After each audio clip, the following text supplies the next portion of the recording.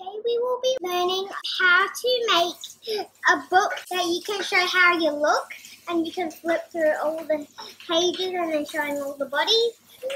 And let's get started on how to make it. First we will need to cut out two rectangles of paper all the same size pretty much. About four will do. Draw different women and men faces on them, one on each page. For example, this. Draw the body as well, but separating a little, as we will cut that part. Draw arms and legs the same way. Make more.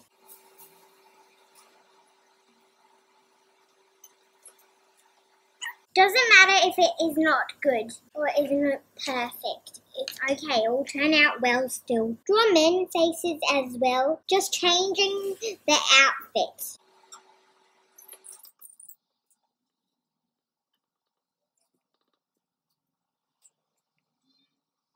After you've drawn all of them, place them in an order that every single page is seen.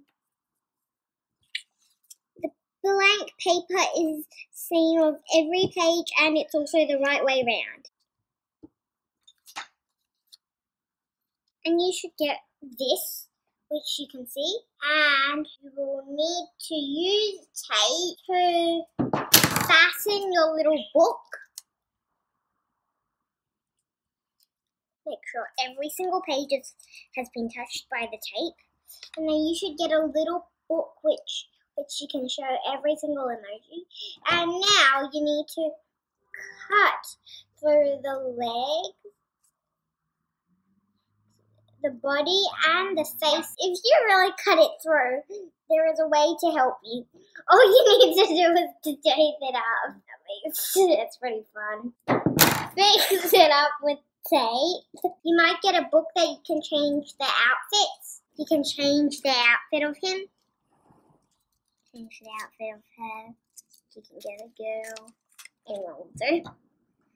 And then you need to make a book cover out of paper. Using double-sided tape, apply the tape to the and then cut it into three parts. Be careful not to stick the tape together. Otherwise, it won't end up looking great. Stick it on each side of the of the cut, and then rip off the protecting cover.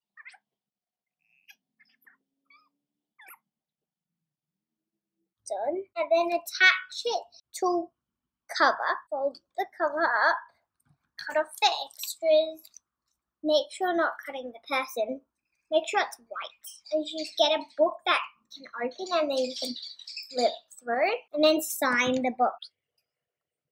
Sign on how do you look. And this is how you make a book that you can show how you look. Thank you for watching.